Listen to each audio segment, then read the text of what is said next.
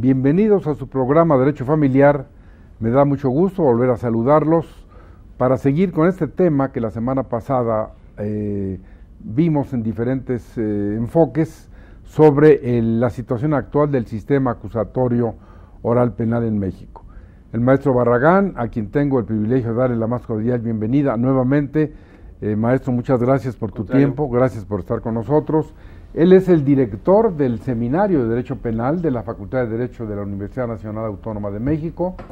Es un gran penalista, es un maestro ya de mucho tiempo, de muchas generaciones y sobre todo en él se amalgama la otra cuestión, que es litigante, que se ha formado en las trincheras, que sabe las cuestiones teóricas y prácticas y eso le da un gran valor a sus opiniones. Maestro, muchas gracias. Al contrario, un placer. Vamos a seguir con este sistema. Eh, yo te preguntaría, Carlos, en realidad, eh, dada la experiencia que tienes, eh, ¿crees que en el año 2016 este sistema esté implantado en todo el país y que funcione?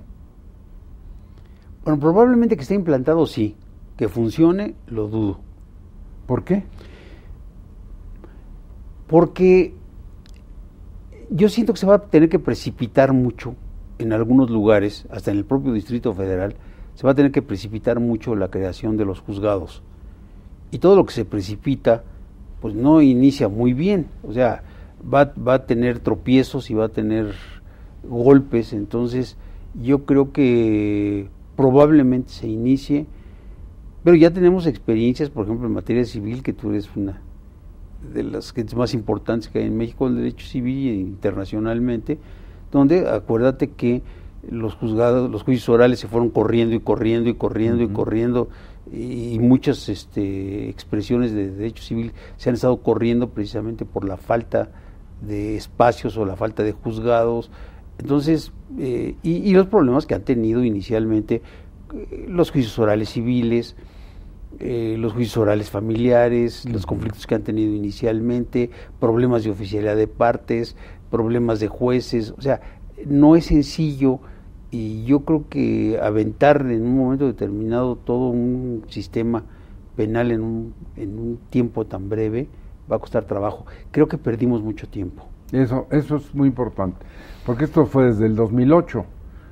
Ahora estamos ya en pleno siglo XXI, estamos en el año 2015 y el 16 está a la vuelta de la esquina y entonces esa respuesta creo que es muy adecuada, pero eh, yo agregaría esta pregunta, eh, Carlos. Em, ¿Se planteará o crees tú que haya una posibilidad de que se creara un sistema híbrido, ecléctico, en el que finalmente, después de ver cómo funciona, tomar un poco de lo que había y de lo nuevo, y nuevamente experimentos, ¿no? Esa pudiera ser una posibilidad de, de, manejar un híbrido, como tú lo llamas, de, a manera de darle mayor eh, agilidad al sistema y que fuera un poquito más viable y más eh, redituable. Creo que pudiera, creo que pudiera funcionar. O el riesgo que tendríamos que, que pudiera darse, que se está dando ya por ejemplo, en algunas este, entidades federativas. Es decir, bueno, ya tenemos en este momento delitos no graves, delitos de querella. Dentro de un año tenemos que implantarlo total. Pero a lo mejor si no lo implantamos lo vamos a correr o vamos a dejar dos sistemas diferentes. Voy a continuar con un sistema antiguo para los delitos graves y un sistema nuevo para los delitos no graves. Entonces caeríamos en un absurdo. Ahora, eh, si nosotros en el año 2016 estamos ya en la plenitud de la administración de justicia oral penal, adversarial, lo que has dicho, la igualdad, la transparencia, que todo se resuelva en una audiencia, todas estas cuestiones un poco técnicas, eh, ¿crees tú que se reduzca, se elimine, se atenúe la corrupción?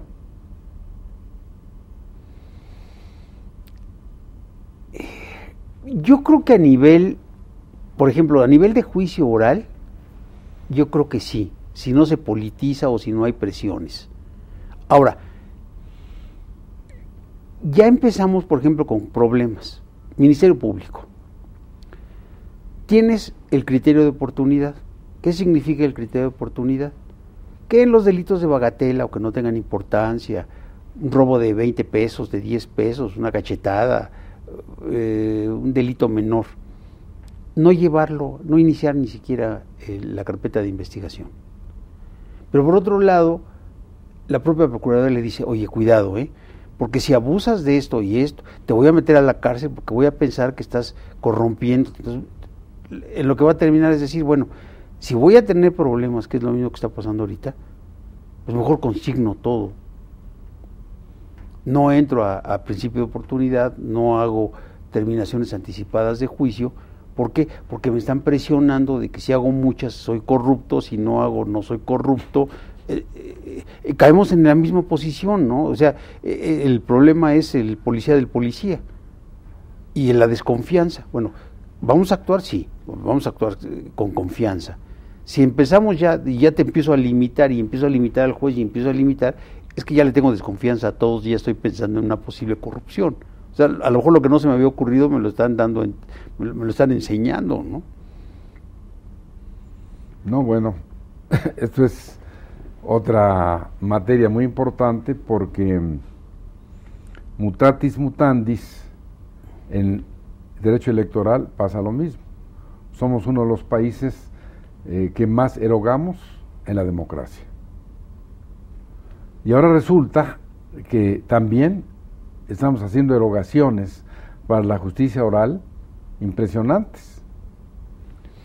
Y las pérdidas, además de las pérdidas de, depositar mal en, financieras, ¿verdad? Pero bueno, esa, esa es una esa es una cuestión muy grave que tiene muchas partes que a lo mejor un día valdría la pena tocar, sobre todo por tu eh, dominio del derecho penal, pero aquí, Carlos, así como traigo a colación el asunto del derecho electoral, y digo, este, vamos a llevarlo ahora a la justicia adversarial, oral, penal, toda esta historia, eh, tienen un común denominador igual, la desconfianza. ¿Por qué es tan cara la democracia? Porque no creemos en ella pero ¿por qué no creemos en ella? Porque tenemos tantos años de haber estado en un partido único, de haber tenido un sistema así, así, así, y ahora en una democracia la mexicana se requiere todo los recursos económicos, impresionantes. Pero ahora en la materia oral penal estamos igual. Sí, yo, yo, yo recuerdo hace, no sé, cuatro años o cinco en la Facultad de Derecho, en una conferencia que estaba dando un magistrado del Tribunal Superior de Justicia del Distrito Federal, que estaba dentro de los mil y mil y mil proyectos que se hicieron sobre el Código Nacional de Procedimientos Penales, el Código Único, que decía, bueno, vamos a, vamos a aplicar el principio de oportunidad, pero yo le tengo mucho miedo a los ministerios públicos. Entonces voy a meter candados y candados y candados y candados y candados para limitarlo en sus funciones. Entonces aquí estamos viendo, por ejemplo, vamos a ver dos sistemas diferentes.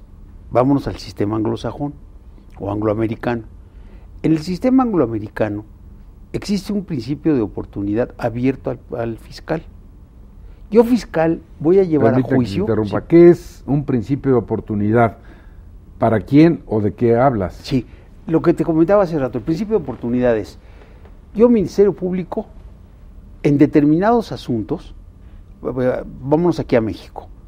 Conforme la que la ley me permita, yo puedo no iniciar una averiguación previa o terminar una averiguación previa anticipadamente, porque es un, es un delito que me está costando mucho dinero. Por ejemplo, si por un robo una persona se mete a, una, tienda de, de, conveniencia, se roba un disco de 100 pesos y lo voy a llevar a juicio oral, me cuesta miles de pesos llevarlo a un juicio oral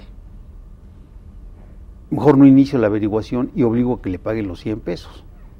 Aunque no quiera la tienda, yo no voy a meterme en un proceso larguísimo por, por un robo de 100 pesos. Ahora, Lo que está haciendo, lo que se está haciendo aquí en México, que es la desconfianza del Ministerio Público, es limitarlo. Pues solamente esto, esto, esto y esto, pero hasta aquí. Pero no, te, pero te estoy ahorcando y no te dejo salir de, de, de, de estos puntos. No es realmente es mentira del criterio. O sea, criterio es decir, oye, bajo tu criterio, ¿qué consideras? Bueno, yo considero esto y esto. Bueno, bajo tu criterio, pero solamente limitado, pues ya no es mi criterio, es el criterio que me está estableciendo la ley. Entonces nosotros tenemos en nuestro sistema un criterio eh, legalizado por medio de la ley. A diferencia del, de, del derecho angloamericano, tú como fiscal llevas ante el juez el tu caso cuando consideras que procede, pero nadie te obliga. Ese es el principio de oportunidad. Es americano, no tasado o no no no no no legalizado. Entonces, eh, ahí sí tiene un principio de oportunidad donde él dice, yo te voy a llevar a proceso hasta que yo sé, sienta o yo quiera llevarte. Y aquí en México te dicen, bueno, tú puedes hacer esto, pero te voy a limitar solamente a determinados delitos de querella, delitos, etcétera. Entonces, eh, empezamos con la ya entramos con la desconfianza. Entonces, si ya un magistrado está diciendo, bueno, yo le tengo desconfianza al Ministerio Público y lo estoy limitando en la ley, bueno, ya, ya le estoy metiendo un policía, ya lo estoy, ya lo estoy limitando. Entonces, estoy limitando funciones. Y estoy entrando ya con desconfianza. No, pues el Ministerio Público es, eh, no es un agente transparente. No, pues el juez no es transparente. Y así lo vemos constantemente, ¿no? O sea, decir, señores, ese quedó libre, pero no fue por culpa mía, ¿eh? fue por culpa del Ministerio Público. El Ministerio Público, oye, yo lo consigné, si lo soltó fue el juez, pero yo lo, consigné. Entonces, es, es un... Es una, se llama connivencia. Sí, de, de culpas, ¿no? Desde, a ver quién es el que, el que no tiene la culpa de la libertad de alguna persona. ¿no? Bueno, yo creo que es muy importante, vamos a ir a un corte y regresamos, porque yo como sinónimo de la palabra principio de oportunidad, encuentro eh, una expresión más simple, ad libitum, al arbitrio del MP, no sujetándolo precisamente a la ley, sino a lo de que él en un momento dado piense y diga, pero lo ejerzo o no lo ejerzo.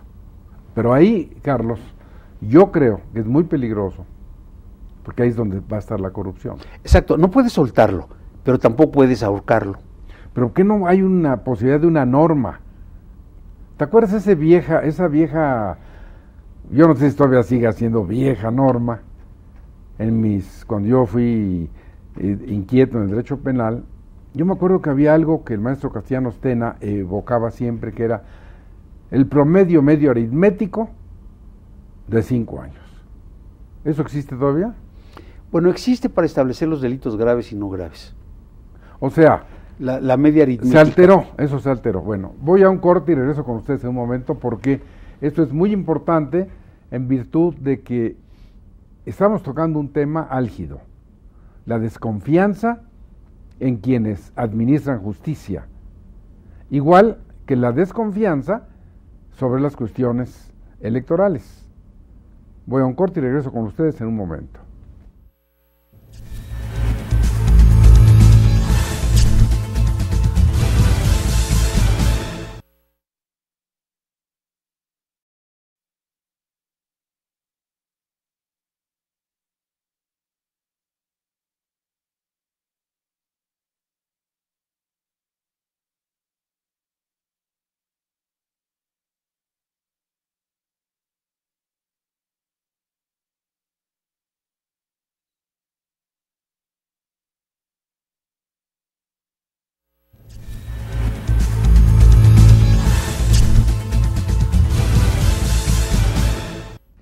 Si usted acaba de sintonizar el canal judicial, estoy eh, dialogando, reflexionando con el maestro Carlos Ernesto Barragán y Salvatierra, quien nuevamente nos acompaña en este programa. Él es nuestro director del Seminario de Derecho Penal de la Facultad de Derecho de la Universidad Nacional y estamos tocando un tema en este segundo programa sobre la situación actual del proceso oral, acusatorio, penal, etcétera.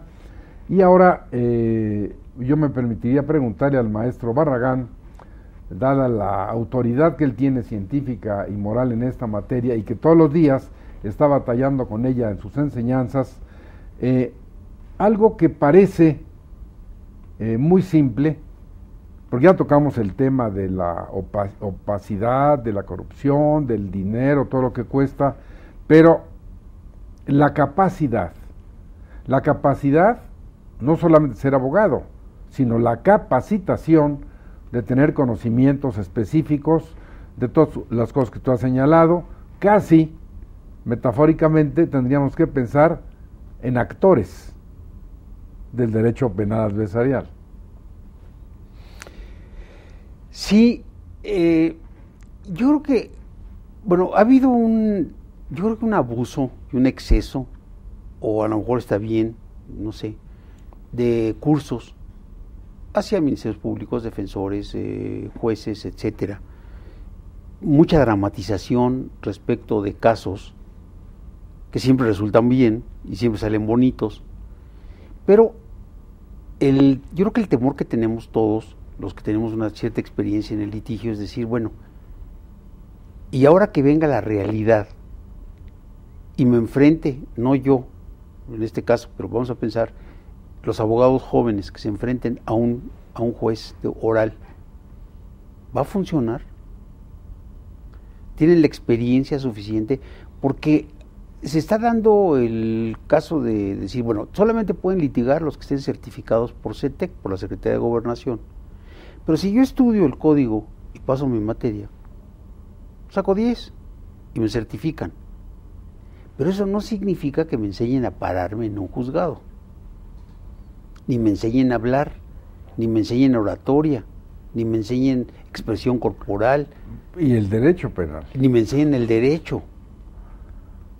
Simplemente me aprendí de memoria un código o me aprendí de memoria, eh, porque no es mucho, realmente es una materia dentro del proceso penal o dentro del procedimiento penal, ¿no? Entonces, yo creo que aquí es precisamente donde vamos a ver si funciona o no funciona cuando ya estemos viendo la realidad. Porque lo que hemos encontrado en algunos casos, por ejemplo, en el Estado de México o en Morelos, en ocasiones es el exceso de los jueces. O sea, el juez debe ser un actor más, pero no es la estrella del, juzgado, del, del, proceso. O sea, porque se rompe esa igualdad. Porque hay estrellas. Exacto, o sea, no puede ser una estrella. Entonces, si el señor juez llega y empieza a hacer eh, un show y empieza a vedetear y se vuelve histriónico, bueno, está echando a perder un juicio. O si empieza a fantasear o empieza a, manejar situaciones, el clásico de los jueces actuales. La ley no lo dice, pero conforme mi criterio. bueno, ¿y cuál es tu criterio? Es que mi criterio aquí sobrepasa el derecho, ¿no? Bueno, entonces hay que conocer el criterio de cada juzgado. Entonces vemos a unos que, están, eh, salen prácticamente, parece que, van a, una, a un festival o a un carnaval y no van a un juzgado y se rompe la seriedad que debe tener un juez. Entonces yo creo que debe ser muy medido la actuación de cada quien. El juez debe ser muy sobrio, debe ser muy serio y, debe tener conocimientos profundos, sobre todo porque creo que ese es el actor más importante, pero al mismo tiempo menos lucidor. Usted lo que tiene que hacer es oír, ver, escuchar y aplicar el derecho. Él no tiene que pararse ni hablar, ni repreguntar, ni hacer. Ahora, si ya empieza él a repreguntar y a pararse, a gritonear, ya perdió el estilo, ya perdió la imagen, ya perdió lo que es, lo que es el juicio. ¿Tienen que estar togados? Togados. Eh, yo creo que, bueno, eh, en un momento dado lo van a hacer, aunque creo que eso es innecesario. Siento que el, respeto no se da en, una toga, y porque además creo que, y es una deducción mía, ¿eh? pero si tú te das cuenta en una sala de juicio oral, normalmente siempre está el juez en un nivel alto. Donde psicológicamente nos está diciendo quién es la autoridad. No necesita gritar ni dar martillazos para establecer que el Señor es el, respeto y el que pone la autoridad. Y está en otro nivel eh, eh, y, el defensor y el Ministerio Público están en un punto inferior siempre. Entonces yo creo que desde ahí psicológicamente nos están enseñando o nos están tratando de establecer quién es la autoridad. Pero esa autoridad debe ser medida. Pero es una gente que debe escuchar, debe oír, debe ser cauteloso, debe ser... Pero en cambio ya la función del Ministerio Público o del defensor tiene que saber, tiene que entrar a todas las, las artimañas que se van a tener que dar y eso lo va a dar la experiencia. Ahora, esto de la capacitación, decía esto algo que me llamó la atención, que la Secretaría de Gobernación te dé una certificación. O sea, tú tienes ya tu título de abogado, eh, de acuerdo a la Constitución, pues es el ejercicio de una profesión libre, que no se puede sujetar a nada. Pero si tú quisieras, como abogado, con tu patente, comparecer en un juicio oral, no vas a poder hacerlo. Puede ser que me digan no, si no, me, si no estás certificado por CETEC de que tienes conocimientos. Y aquí el problema es que CETEC, o sea, lo único que me va a hacer es un examen oral. Y me diga, oye, saliste bien tu examen oral. Está tu certificación. Pero puede ser un abogado de laboral que nunca en su vida ha litigado penal y que no va a litigar penal, pero ya sacó su certificación por si, por si acaso. Eso lo sabe la gente, que hay que tener certificado, los sí. que ejercen. Bueno, se está, se está manejando mucho esa posición. Ahora, el problema es que todo mundo está entrando en concursos y concursos de certificaciones, certificaciones. Yo creo que se está, se está choteando la certificación, dentro de mi personal punto de vista. ¿eh? bueno, yo, yo, creo... que debe, debe, debe ser más cuidadoso de decir, bueno, tú vas a litigar penal, ¿qué capacidad tienes? ¿Qué conocimientos tienes para ayudarte a una certificación? Porque el hecho de que te certifique no significa que el juez no pueda en un momento dado, y lo comentábamos en programas anteriores, de decirle, señor defensor, usted no sabe, sálgase. Aunque esté certificado.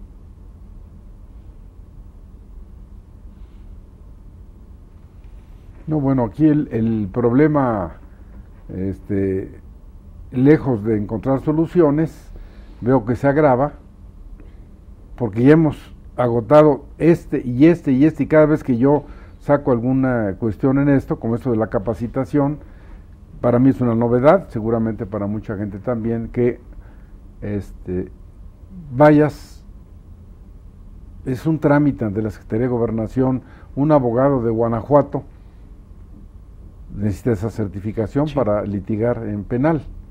¿Y eso desde cuándo? Bueno, esas certificaciones ya están dando desde hace aproximadamente 4 o 5 años.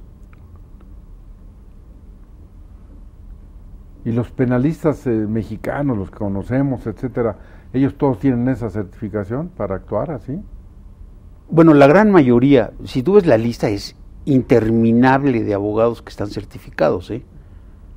Por ejemplo, yo tengo una certificación por el estudios jurídicos eh, americanos de LEJA, donde me dieron como capacitador y capacitación de, para, para certificación, para cursos.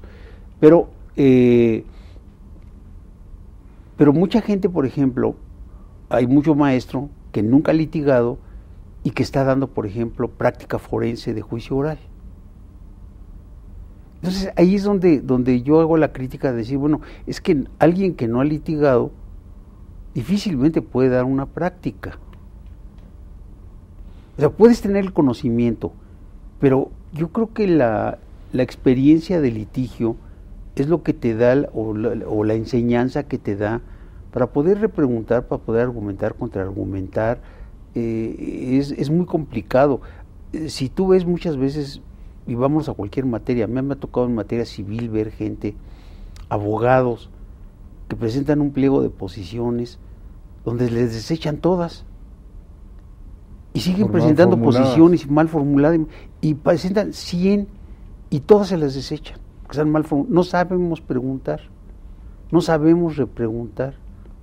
Y tú vas a un juicio penal del antiguo, llamémosle el antiguo, y ves al abogado preguntando y te dicen, no, no procede abogado, no procede, reformule, no procede. Y audiencias que se pueden tardar cinco horas hiciste tres preguntas porque no sabes preguntar. Entonces, esto te lo va a dar la experiencia. Eso es muy difícil que lo aprendas en un aula de clases. Pues es un tema importantísimo porque ahí está ya el requisito. Tienes que estar certificado. Pero la pregunta eh, persiste. ¿Quién, en dónde, cómo te capacitaron? Dijiste tú, bueno, puedes ser autodidacta y resolver el, el cuestionario, pero ¿quién te da los conocimientos? Gobernación, dices, te certifica. Se certifica. Te dice, este es el examen. ¿Y tú dónde aprendiste? Ahí es donde entramos al problema de los 10 millones de cursos que se dan. Si tú ves, por ejemplo, universidades, buenas, malas, patitos, repatitos, recontrapatitos, eh, institutos De todo. de todo, eh, academias Vázquez, eh, en juicios orales de aprenden tres horas a litigar. Entonces, la gente está tomando cursos y cursos y cursos porque está preocupada. Los abogados están preocupados, están muy preocupados. Y es una materia para mí que, que no puedes, si tú tomas un muy buen curso, no necesitas tomar 14 o 15 o 16 porque todo se te va a repetir de lo mismo. Es como si tú tomaras una materia 16 veces. Entonces, hay buenos cursos, malos cursos, regulares cursos, eh, depende, depende quién los dé, eh, cómo se estén dando, la experiencia de quien los esté dando. Eh, hubo, por ejemplo, en la Procuraduría, en la General de la República, que para mi gusto fracasó en la anterior administración, el programa creo que se llama Diamante, donde era una persona capacitaba a 10 y esos 10 capacitaban a 100 y esos 100 capacitaban a 1000 y esos 1000 capacitaban y todos se volvían capacitadores y, andaban en toda la República, pero eran gente que nunca habían litigado. Y, y entre ellos mismos, entre los alumnos, prepararon sus cuadernos y tú los veías y decías, no.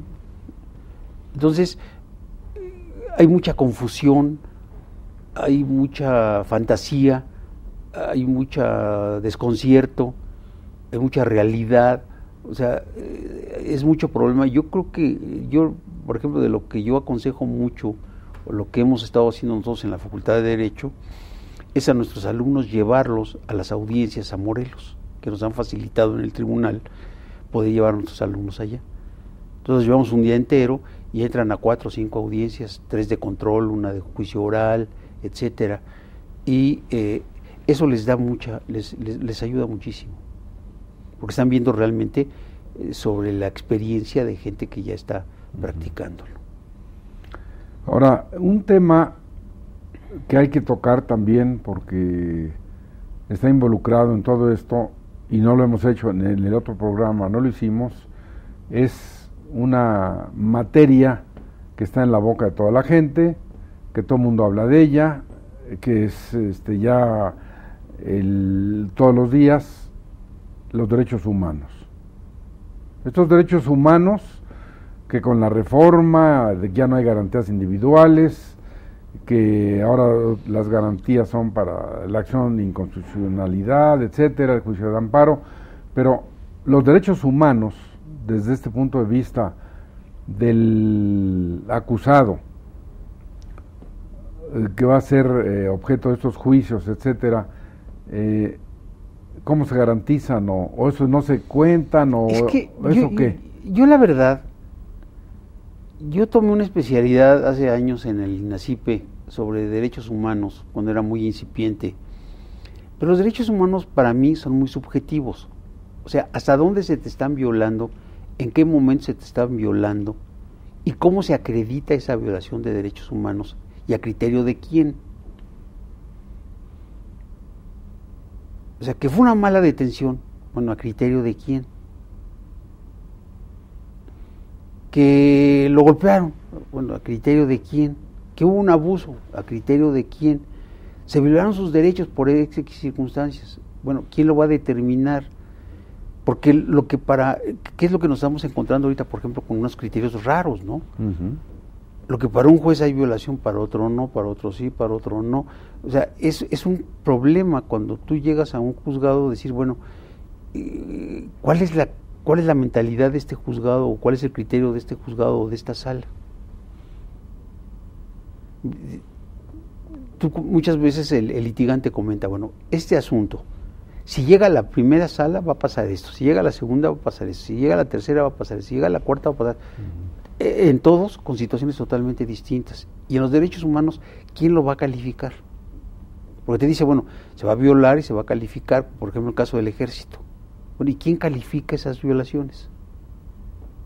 ¿No sientes, así como en las otras materias de democracia, justicia penal, etcétera, que ha habido un abuso de tan solo esta expresión derechos humanos y todo lo que implica eh, aquellos orígenes del ombudsman en los años 90, cuando Jorge Carpizo fue realmente el precursor de esta materia en México y le empezó a impulsar, etcétera. Eh, pero hoy, como las otras, a fuerza de repetir, se desgasta. Y todo el mundo habla de derechos humanos y todo el mundo está en esta historia. Y ahora aquí, en la cuestión penal, este juicio oral penal, eh, cómo se salvaguardan los derechos humanos, ahora voy a ir a la inversa de lo que tú has dicho, del acusado, del acusador, del MP, del juez, de todos los que ahí intervienen. Se, se, respetan, se están presentes en todo lo que has dicho, incluida esta certificación, etcétera. Eh, los derechos humanos son algo presente y se respeta. Bueno, eso es lo que se pretende con el juez de control que como garante de la constitucionalidad y de los derechos humanos de las personas, de todos los sujetos, sea el vigilante de que se cumplan esas, eh, eh, esos derechos humanos. Pues por lo menos es lo que se pretende. Muy complejo, ¿no? y volveremos a lo mismo. Y es que a mí se me hace, a veces se me hace una irrealidad cuando por decreto te hablan del derecho humano y te dicen, es que si, en este momento todas las, todas las leyes tendrían que ser reformadas por la violación de los derechos humanos. Si tú te pones a pensar, dices, pues, vamos a derogar todo, porque todo, todos violan los derechos humanos de alguna, de alguna forma, conforme a los criterios constitucionales. ¿A quién lo va a establecer o cómo se va a establecer? Y es, es donde vienen, por ejemplo, las críticas. Y es que es, es muy especial. Mira, por ejemplo, tú como inculpado, te detienen. Llamas a tu defensor y llamas a derechos humanos. Y hay una persona de derechos humanos que va a estar contigo presente en todo, cuidándote, que no te violen tus derechos humanos.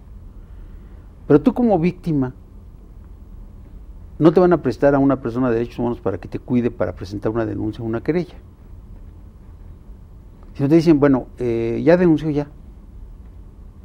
¿Lo trataron bien? Sí. Ustedes no le violan sus derechos humanos. ¿Qué le cuido? Oiga, que la sentencia, a ver, déjeme checar, pero, pero realmente, por eso muchas veces se ha criticado al Ombudsman diciendo, tú eres un protector de inculpados y no de, víctimas. Pero es que es razonable. Pues es, más fácil que violen los derechos humanos de un inculpado que violen los derechos humanos de una víctima. Ahora, en la situación actual de este proceso penal acusatorio, tiene como prioridad te pregunto, ¿el respeto a los derechos humanos? O, yo no lo veo, a lo mejor por implícito ahí está, pero no lo veo.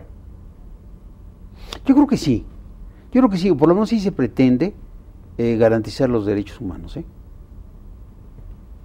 con una mejor actuación del Ministerio Público, con la presunción de inocencia entre paréntesis, eh, con todas las facilidades que tiene el juez de control, la participación del juez de control, la vigilancia del juez de control, precisamente de ese, tipo de violaciones. Entonces, se, está pretendiendo cuidar esos aspectos. Yo creo que ahí sí, se, sí, es, sí es positivo. Bueno, yo creo que... Vamos a ver el resultado. Eso es el resultado. Vamos a ver un... Vamos a ir una pequeña pausa porque es muy importante esta última parte del programa donde vamos a hacerles a ustedes algunas conclusiones, algunas recomendaciones y sobre todo a que quede muy clara la exposición que hemos tratado, de que sepan cuál es la situación actual del proceso penal acusatorio, los términos, las condiciones que hay y en esta última parte les vamos a traer a colación. Eh, en un momento regresamos con ustedes.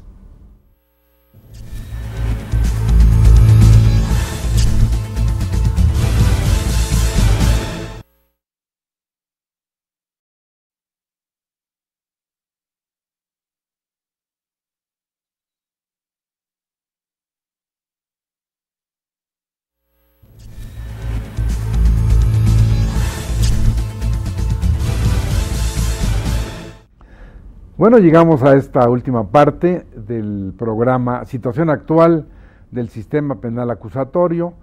Eh, vamos a hacer algunas conclusiones, principalmente el maestro eh, Carlos Barragán, para que nos diga en su perspectiva qué futuro, qué le ve al sistema, eh, de qué manera les puede recomendar a ustedes que coadyuven, que colaboren en este, para que finalmente sea una realidad que hay una mejor justicia penal para quienes tienen la desgracia de caer en algún supuesto de un delito.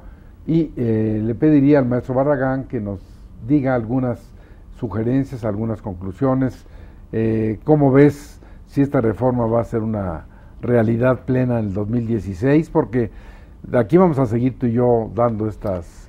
Eh, esperemos que en el 2016 sigamos en, en, esta, en estas discusiones, ¿no? Yo creo que principalmente vamos a darle eh, un voto de confianza a nuestro sistema, esperando que funcione. Creo que por lo menos la intención es buena, eh, lo que se busca es una mejora al sistema eh, y creo que es muy importante la colaboración de la ciudadanía, del poder judicial, del legislativo, ejecutivo, de lo que señalábamos, de todos los poderes, tratar, procurar mejores leyes, que nuestros diputados, senadores, pues traten de, no negociar las leyes, sino que traten de sacar buenas leyes, eh, que se puedan aplicar bien, eh, que necesitamos una mejor policía, eso sí es muy importante, una policía, eh, lo que la Constitución nos señala y las leyes nos señalan, una policía científica que no tenemos y que es urgente tener una policía científica que esté bien garantizada, que esté... ¿Qué es una policía científica? ¿Los de CSI? Tipo, tipo... escena del crimen. Pues por lo menos que sepan, que sepan llegar a alguna escena del crimen y no ensuciarla, ¿no? Eh, aquí el problema es que tú llegas a la calle, y ves una persona tirada en el piso, y llega la, policía, lo levantan, lo suben a la banqueta porque estorban, ¿no? y este fuman y echan las colillas arriba del, del, cadáver, le ponen veladoras y ensucian todo el todo todo el, la, escena del crimen.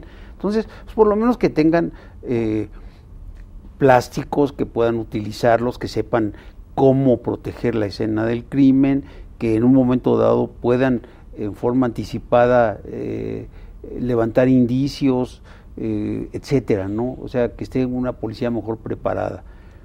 creo que es muy importante para la ciudadanía que que el sistema lo vea como algo nuevo, como algo que puede funcionar, pero que no, que no lo sienta como algo maravilloso que nos va a resolver todos nuestros problemas. O sea, el sistema, el nuevo sistema no nos va a quitar ni el riesgo de andar en la calle y ser secuestrados, ni asaltados, ni robados, ni asesinados, ¿no? O sea, es otra situación totalmente diferente. Estamos viendo la parte exclusivamente judicial. Entonces creo que necesitamos una mejor policía, necesitamos una mejor procuración de justicia, una mejor administración de justicia y que la gente que cuando esté en un problema de carácter legal, sobre todo acuda con profesionales, que no se deje engañar, eh, porque volveríamos a lo mismo, el hecho de que yo esté certificado no significa que sepa yo derecho, el hecho de que yo sea tengo una especialidad en derecho penal no, representa que yo sepa derecho penal práctico.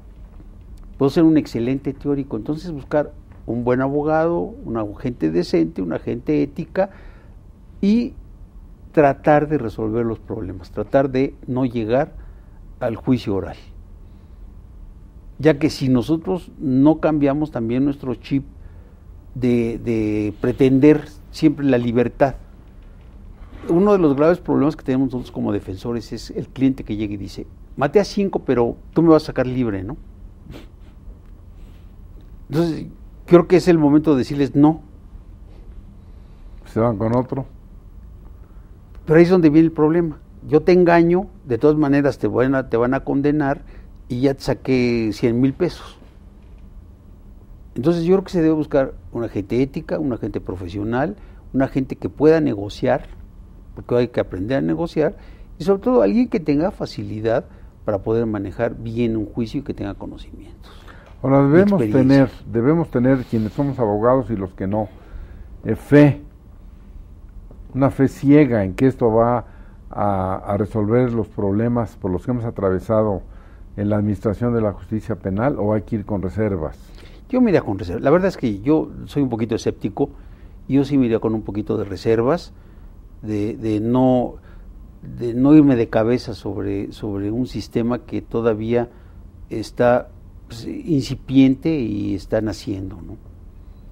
que no sabemos el, el, realmente el futuro. ¿Cómo podemos ayudar nosotros desde la universidad, desde el foro, desde la tribuna, los medios de comunicación, a que el sistema cuaje, se concrete, sea algo positivo para quienes nos ven? Yo creo que preparando a nuestros alumnos, cambiándoles las, muchas veces eh, la mentalidad del alumno, de que muchas veces piensan, no, yo terminando mi carrera, recibiéndome, ya soy rico porque soy abogado, ¿no? Es un estatus, eso no es cierto. Hay que trabajar y hay que trabajar muy fuerte y en este momento hay tantísima...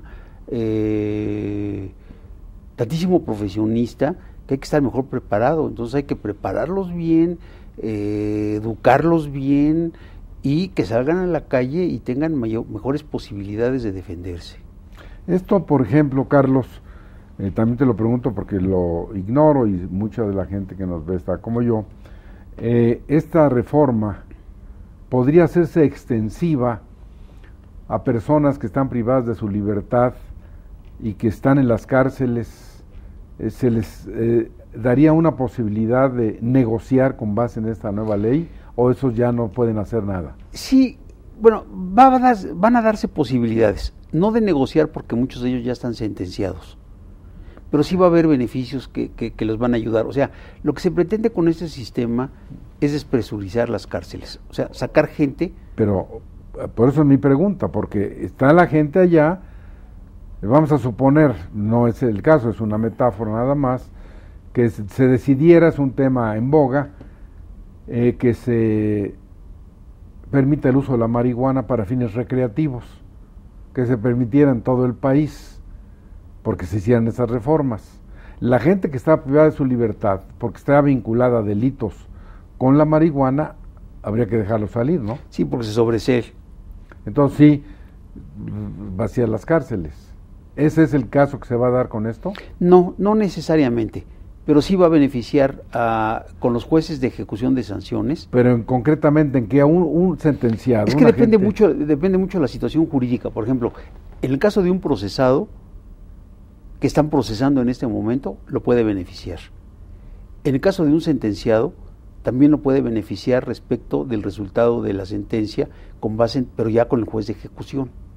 Pero cuando tú dices el juez de ejecución, el señor tiene 30 años de cárcel y viene la reforma, ¿a él en qué manera le podría beneficiar? ¿Bajar en los 30 años? Bajar los 30 años con trabajo con... Bueno, eso está en las, mi, es, Está dentro de, las, de ¿no? las normas mínimas. Pero yo me refiero al caso concreto del señor, porque oigo, eh, tú lo dices y los medios, se trata de despresurizar las cárceles. Pero no, pero no va a ser en plan de un vaciado, de decir vamos a, vamos a, eh, para en, en ocho, en, un mes vamos a tener las cárceles vacías, ¿no? O sea, eso definitivamente va a ser imposible, sobre todo porque también volvemos al, al mismo problema de nuestra legislación. En ocasiones nuestra propia ley cada día nos aumenta más las penalidades y vuelve más delitos graves. De todas maneras, aunque sean no 30, sino 10, de todas maneras es gente que va a estar presa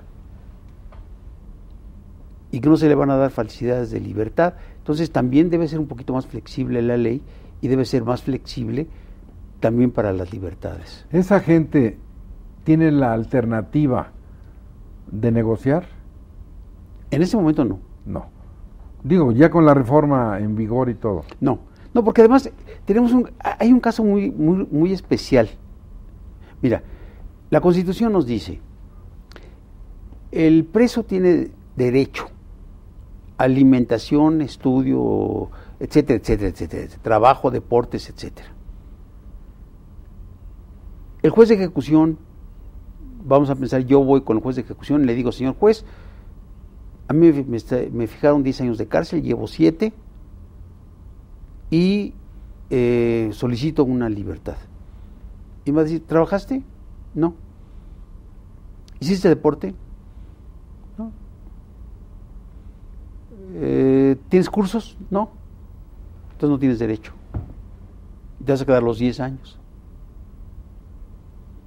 Pero volvemos a un subjetivismo. Entonces, ¿no? pero es un absurdo.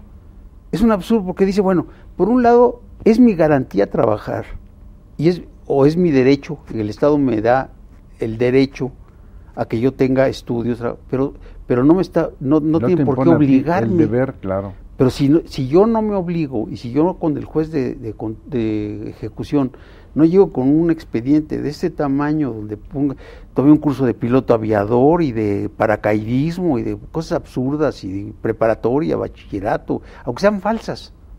Porque muchas veces están vendiendo constancias allá adentro precisamente para eso y el juez dice, ay, ¿no trabajaste, no hiciste nada? No, te quedas los 10 años. Oye, pero tengo un buen comportamiento, pero no hiciste nada.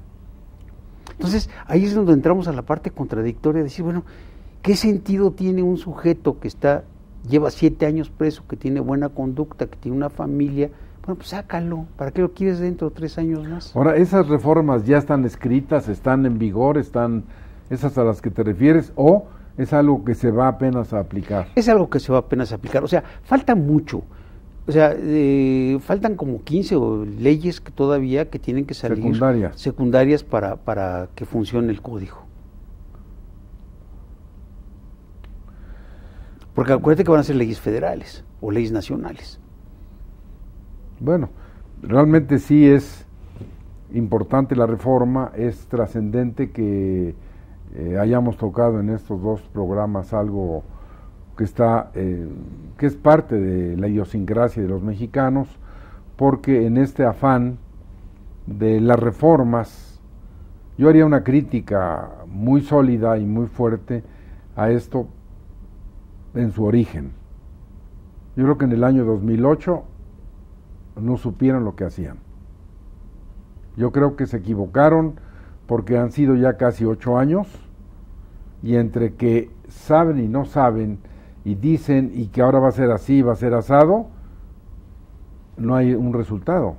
Y oyendo a un experto como tú de que pues todo está por verse, todo está por escribirse, todo está por hacerse faltan tantos estados de la República para que lo tengan completo. Yo tuve el privilegio de estar en Mexicali y tienen un centro eh, penal eh, impresionante. tú los de conocer, las instalaciones impresionantes. Pero Mexicali no es Baja California. Es uno de los municipios, es una de las ciudades. Pero todo esto de lo que hemos hablado, que la gente nos ha escuchado, pues hay que decirles con toda claridad que esto es lo que viene y que como venga eh, se tendrá que actuar y se tendrán que preparar y, eh, los jueces, los ministerios públicos, los recursos económicos. Yo oigo permanentemente a más de una persona que está en esto que, dicen, si no dan más dinero, esto fracasa. Yo no creo que eso sea lo, lo adecuado porque, por ejemplo, si tenemos instalaciones, tú lo mencionabas en algún otro programa, tenemos eh, juzgados penales, tenemos instalaciones penales. No es lo mismo adaptar que construir. Y aquí se nos ha vendido la idea de que se necesitan cientos o miles de millones de pesos para esto, esto sea una realidad, ¿no? Sí, lo que comentaba un juez de distrito, decía, mire, yo no quiero que me hagan una corte preciosa, hágame algo digno, nada más, algo digno para poder trabajar. Pues mi querido Carlos, yo te reitero en nombre de la teleaudiencia nuestro agradecimiento, en nombre del director del canal judicial, de la Suprema Corte, porque cuando tenemos la posibilidad de que personajes como tú vengan a esos programas, son muy eh, fructíferos, muy positivos para la gente que nos ve, que nos escucha, porque hay esperanzas frente a las gentes preparadas, frente a las gentes que tienen una conciencia, una honestidad, una transparencia de lo que están haciendo, es muy importante y sobre todo porque estamos tocando algo tan álgido como es privar de la libertad a una persona. Después de la vida, la libertad, es uno de los valores más importantes, ¿no? Yo te reitero mi agradecimiento, espero que vuelvas a acudir a este llamado cuando lo hagamos. Me da mucho si quieres despedirte la teleaudiencia. No, simplemente agradecer la atención que nos han prestado, ojalá haya sido interesante lo que hemos comentado en estos, en estos dos programas y estamos a sus órdenes, me tienen a sus órdenes en la universidad, en la Facultad de Derecho, en el Seminario de Derecho Penal. Si alguna persona tiene interés en comentar o hacer comentarios, con mucho gusto estamos a sus órdenes. La universidad, acuérdense que es un universo del pueblo, para el pueblo, y que estamos para servirles a todos ustedes, a todo el ciudadano que tenga interés de acercarse a nosotros, estamos a sus órdenes. No solamente yo, sino todos los maestros de la universidad. Muchas gracias, Carlos. Y a usted, por permitirnos llegar a su hogar, le reitero, porque nos ve, este programa está entrando en su sexto año, porque nos ve, ha sido posible traer aproximadamente a mil profesores, investigadores, profesionistas de la multidisciplina a hablar sobre los álgidos y difíciles problemas que vienen con el derecho familiar y en este caso que hemos hablado de estas cuestiones penales. Muchas gracias. Recuerde, sintonice el canal judicial en Cablevisión 112, en Sky 639, en Dish 731, en las repetidoras locales, a nivel internacional en internet www.scjn.gov.mx. Háganos saber qué temas quiere que podamos tratar en estos programas. Lo haremos con mucho gusto y recuerde que también se puede consultar mi columna Derecho Familiar que se edita en 70 diarios de la Organización Editorial Mexicana, la más grande de América Latina. Gracias y esperamos vernos en el próximo programa de Derecho Familiar.